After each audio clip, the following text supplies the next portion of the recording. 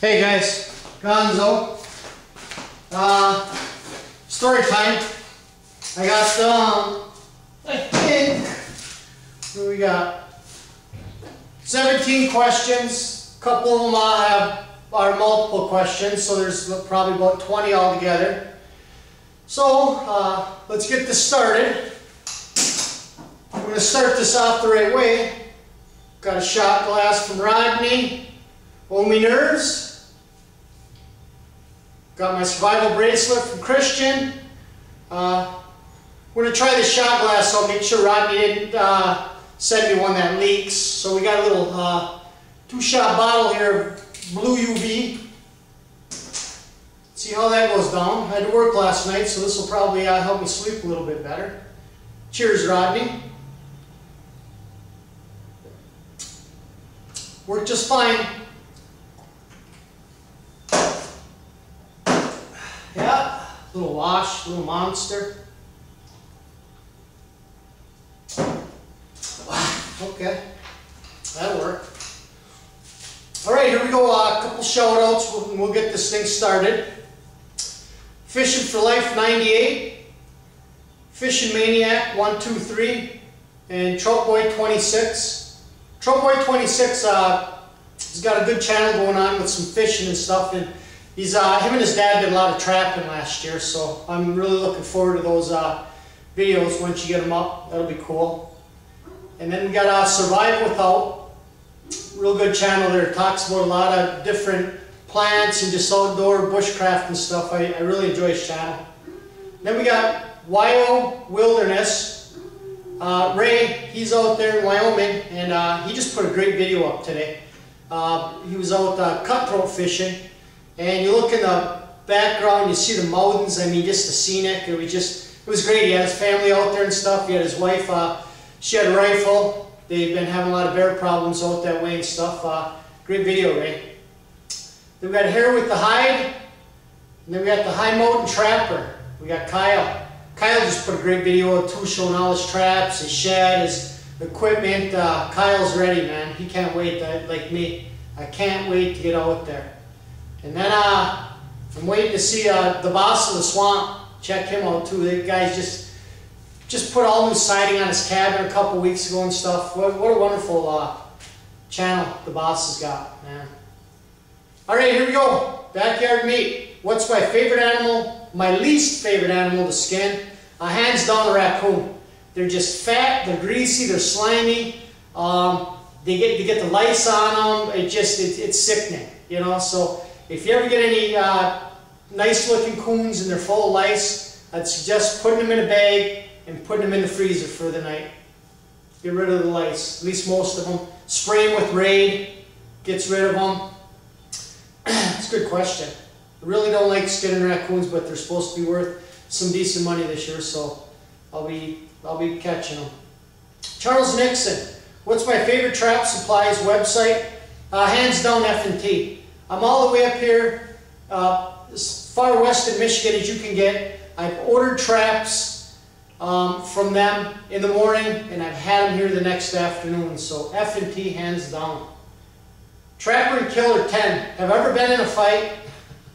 yeah, I've, I've been in a few fights. Uh, actually, back in high school when I was a senior, um, me and my best friend JJ got the stupid freaking fight in uh, Fayed over a basketball game. I was kicked out, and uh, it was like uh, when everybody in school was going to fight, it was like at the county garage. So um, I totally forgot about it. After school, you know, we get down to the corner. My buddy's giving me a ride home. Look over at the county garage, and there's all these cars there, just waiting for the fight. Of course, you know, I'm not going to back down, stupid. So I go over there, and we start having words with each other, and uh, I push him, and he hits me right there. That tooth was in the back of my throat, so wasn't worth it because by the end of the day, we were still best friends. And uh, my mom wasn't too happy. My dad, his mom and dad weren't too happy and about six trips to the dentist to get a root canal done, and I got a fake tooth in there now. I got a peg. So, yeah, I have. Uh, not a great feeling. Haven't been in a fight in tons of years and stuff. Uh, part of growing up, I guess. Matthew Zupetz. What's my favorite thing to hunt? Ruffed grouse. I just love being out there, walking, flushing birds, shooting them on the wing, on the fly. Uh, just all around ruffed grouse. Love it. The past few years have been great up here. And uh, from the sound of them, drumming and the ones that I've seen this summer stuff, looks like it's going to be a great year again. Outdoorsman 1515. What's the most animals I've ever caught in one season?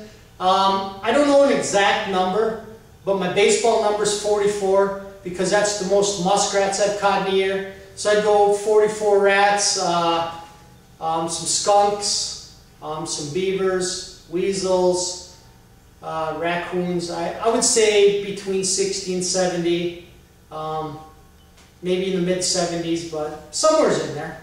Nothing great, just like I said, a hobby. Uh, something I enjoy doing, so. Trapper. What's my favorite animal to catch? Bobcat. Love trapping bobcats uh, ever since the first one I've ever seen and started trapping them. Um, I've got 23 to date. I've let, fifth, I think 15 of them I've released. If they, in at least the 20 pound range, except the first one I ever caught, it was a 17 pound female. Other than that, I release them. And trust me, they're a pain in the ass to release. I've always used a blanket. Uh, you can't do it by yourself. You got to get somebody else, and you got to go with them and stuff. And they're one mean animal. Even the small ones. You catch a 15 pound cat, you, you wouldn't believe how strong they are.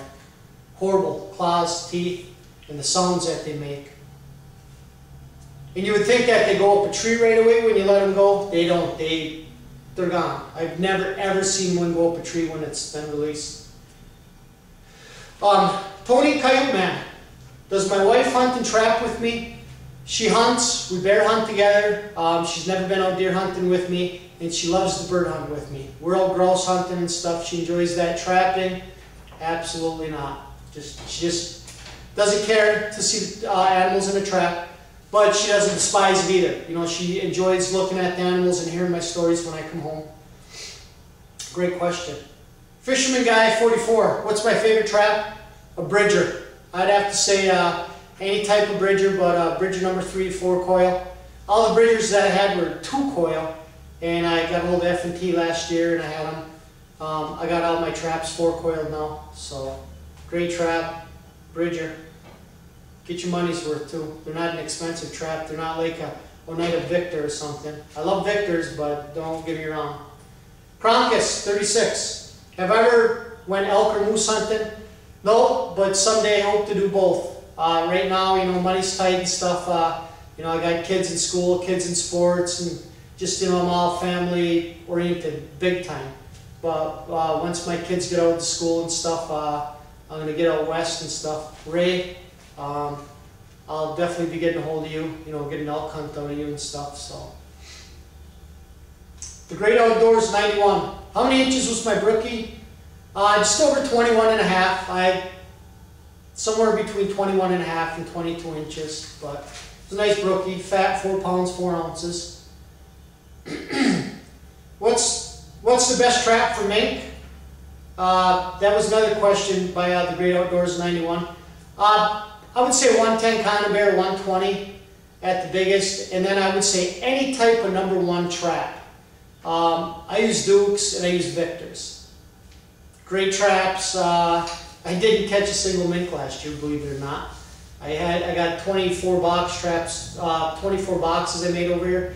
Filled every one of them full of Conibears, but I think I did that too early in the season. I should have waited. I found out later on until there was snow on the ground and the rivers and creeks started icing up a little bit.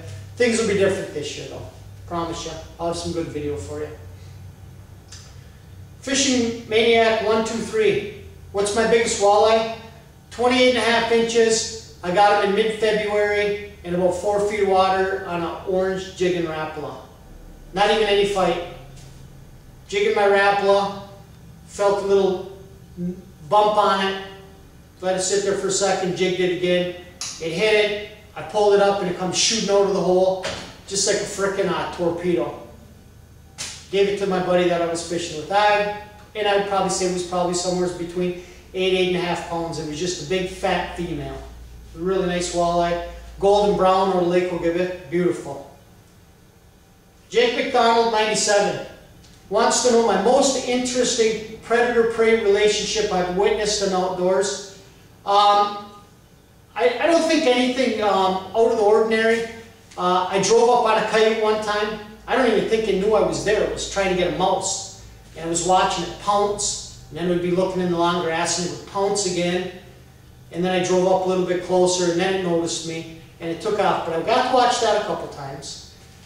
Um, out at one of my bow stands, I had a big horned owl that would hang around. I was on the edge of a swamp and there was a lot of hemlocks there and stuff. And I watched a weasel chase a shrew all around a stump one time and caught it. And at that same exact stand, the same year I was hunting it, uh, that owl that was there, um, I'd watched him pick off a couple red squirrels. These owls are so quiet, he would just come gliding in like this great big uh, stealth, I don't know, uh, airplane or something, just quiet, and he'd just sit there. And the squirrels would chirp and everything, they'd run. Sooner or later they'd come back out. One would make a mistake, and he'd come down and nail them right off the corn and apples. And they had no idea he was even coming. Just boom, and he had them. But here's a story for you. Uh, this was, I would say, 10 years ago with an ex-girlfriend. I was in Boulder Junction, Wisconsin. I just got done dropping my boys off with my mom. We're coming back. I thought my ex-girlfriend was sleeping. And I watched this black mountain lion, pitch black, black panther, whatever you want to call it, come middle of the day, come right out into the road, to the middle of the road, right in front of me, flips around and shoots back in the woods, with the tail that long on it, pitch black now. Uh, and I wasn't going to say anything. And she's like, oh my God, did you just see that Black Panther?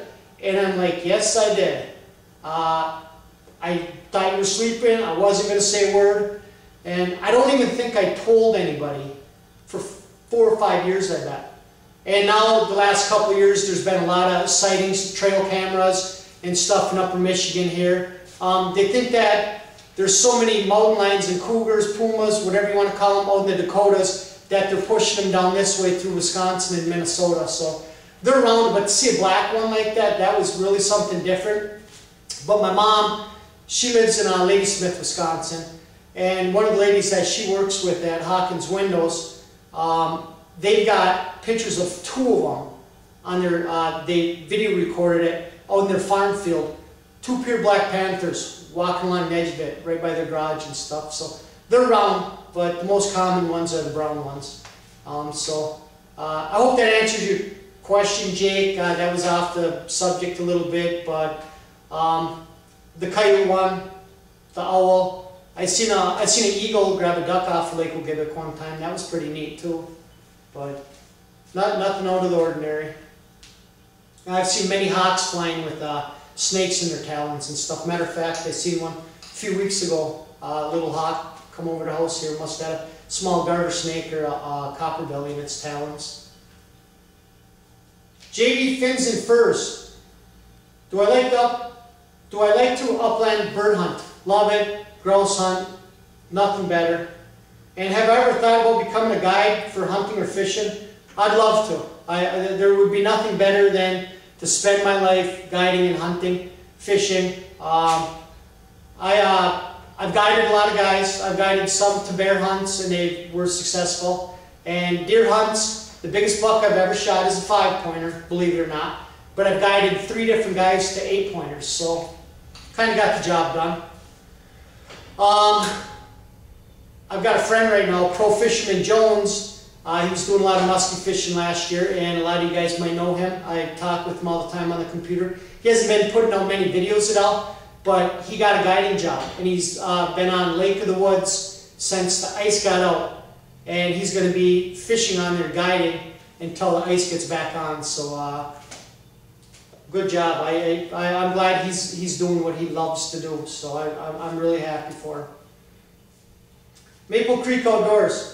Can we still bait deer in Michigan? Yep, we're allowed two gallons of bait and it's got to be spread out. I think it's over a 10 foot by 10 foot area. So if you take corn, I mean I spread mine out a lot more than that. I'll throw it over a 20, 30 foot area. Two gallons just to make the deer go through the leaves and everything and stuff. Uh, so we're allowed to as of right now. Lower Michigan, I don't know. They weren't, but I think they're they're allowed to again now.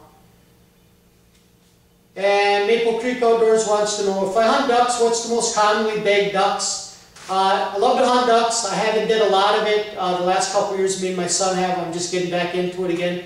Uh, we do a lot of pond jumping, and it's either mallards or wood ducks. Um, we shoot some other ducks off and on and stuff, but the, your mallards, um, there's a lot of mallards around here, and your wood ducks. Uh, we're, we can walk the river and stuff. You know, there's a lot of spots that I knew when I was a kid that we go, and uh, there ain't nothing prettier than shooting a beautiful green-headed mallard or a male uh, wood duck. That's probably one of my next ducks to get uh, mounted, is one of them too. Actually, I, don't have a duck mounted. Those are one of my next uh, mounts are going to be that after my brook trout. They, the 80K Trapper. Have you ever seen anything I cannot explain outdoors? Like a Bigfoot or lights in the sky or anything? I can't say I have. I've never seen anything that, I mean, you see an airplane or something. I'm not one of those guys that's going to fabricate a story and uh, tell you that I seen Bigfoot run across the road or in a lake or something. But uh, good question. I wish I could sh share a story with you, Garrett, but I, I can't, bud. Sorry. Dustin Peters. Do I do any snaring? Um, I haven't snared since I was a kid. I used to snare a lot of rabbits back then. But this uh, past winter, I've uh, contact a lot of channels that do a lot of snaring. Um, and I'm going to get into it, but here in uh, Michigan, if you snare, we can't start till after January 1st, and it's got to be on private property. So I've got some private property to snare. I bought myself uh, 500 feet of 332nd inch cable. I bought three different kind of snare locks. I've got seven dozen of them. So I'm going to make myself some snares, and I'm going to get some deer carcasses, and uh, I'm going to go on this farm this guy owns, and I'm going to set some uh, snares and stuff. So hopefully I'll have some video of that for you guys too. Rodney Newberry. Um, Rodney wants to know, is there many coyotes around my area? Tons of them.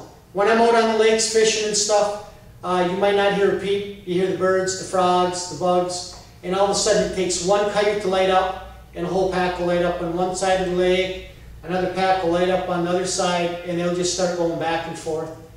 Uh, the most I've ever heard are three different packs going off at one time. So we've got plenty of coyotes. Actually, uh, right down the road here on my way to work uh, yesterday morning, there was a coyote pop hit. I seen it on the side of US 2 right by Marenisco. And uh, I'm going to give you a quick story about drinking beer. Uh, me and a bunch of my buddies were sitting at my mom's house um, playing quarter bounce. I don't know if uh, who knows how to do that or not, but you take a glass, you fill it up half, three quarters full of beer, and you try and bounce a quarter in there. If you get it in there, you can pick anybody else at the table to drink it.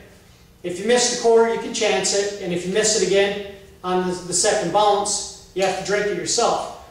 Well, my buddy makes the quarter one day, into the glass, picks me to drink it. The phone rings, I get up, I answer the phone, and I'm talking on it, and I go to drink, and I'm drinking my beer, and then he pretends he's going to punch me in the stomach, and the quarter goes down inside my uh, esophagus. I'm thinking it's in my stomach. And two, three, four days, whatever, you know, I'm just to pass it. Well, we finished the beer off, and we're sitting there watching TV, maybe sipping on a couple beers yet. I was only like 18 years old. And uh, my mom was in Marquette for the weekend at her sister's house. Well, thank God she came home because within two hours, my chest was in such pain, I just, I, I couldn't take it anymore. I told my mom what happened. She called the hospital. Uh, they said to get me up there right away. So I went up there, they took an x-ray. They could actually see the quarter inside of me. It was stuck on my third lung, or not my third lung, my third uh, rib. So the doctor, what he thought he was going to do, retard, stuck this huge tube up my nose and put all kinds of petroleum jelly up there and he's trying to knock it off, you know, and I'm gagging, you know, and he's poking around and it, and it hurt, it, just massively, it hurt bad. Well, uh, after that wasn't working, two, three hours later, he goes, well, uh, I think what we're going to do is stick a tube down your throat, we're going to numb your throat, we're going to stick a tube down there, we're going to stick a light down there in the camera, and I'll pull it out that way. So, they numb my throat up, they stick a tube down my throat, uh, in goes these two little things, these little pincher things, and a camera down the tube. And there's a little TV on the side. You could see everything. You could see the quarter down there. And he grabs it, he pulls the quarter out and the light out, and he says, when I pull this tube out of your throat, you might throw up, so be ready for that. I'm like, all right. So he starts pulling that tube out, and all the beer that was inside me went all over the place. So we learned after that night of playing quarter bounce to bounce into a cup and have a separate cup for each player and drink our own beers that way. So the moral of the story is don't bounce a quarter in a cup and drink it because you might not always pass it. If my mom wasn't there, uh, you could see inside after he pulled the quarter out before he pulled the tube out, there was a ring already there. He said that would have wore right through and he said I would have been in big trouble after that. Things wouldn't have been good. So I don't want to think how bad they could have been or whatever. But anyways, that's story time for this week. Uh, um, got 200 and some hits on it, so it seems to be going good. And if we hit 200 again, we'll do it again next week. So get your questions in. I'll get your answers, and uh, I'll try and think of something else to tell you guys. So until then, peace.